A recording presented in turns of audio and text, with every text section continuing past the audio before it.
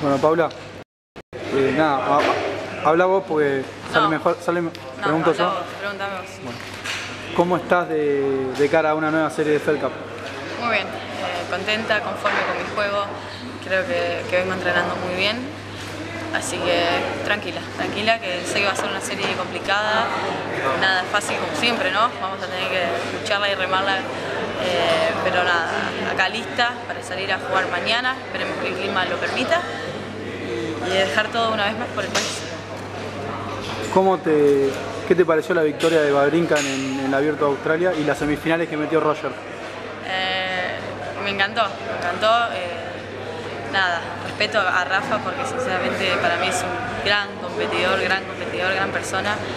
Pero el hecho de que lo haya ganado otra persona que no sea en los cuatro mejores eh, es, algo increíble. Y más Babrinka, que me parece que tenía súper recontra merecido por cómo viene trabajando últimamente. Creo que ha mejorado muchísimo. Siempre fue igual un gran jugador, pero le faltaba ese, ese plus. Eh, las semifinales de Roger obviamente me hicieron muy contenta. Me hubiera encantado que lo gané en el torneo porque soy Roger a muerte.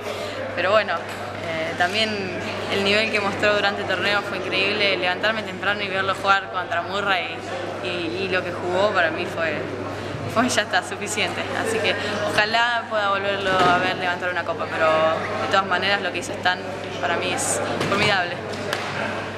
Hay muchos fanáticos tuyos que, que comentan en la página, admiradores. Eh, ¿Estás de novia vos? ¿Estás soltera? No, no estoy novia y estoy soltera, pero muy feliz, muy feliz, muy contenta, estoy pasando un buen momento. ¿Qué, qué, qué- qué tendría que tener un chico que, que te atrae, que te atrae por él?